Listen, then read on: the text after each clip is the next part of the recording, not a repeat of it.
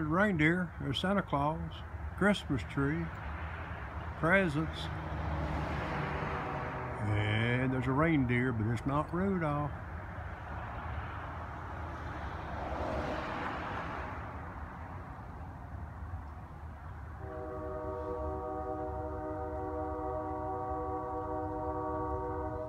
The neighbor's house has got lights up too.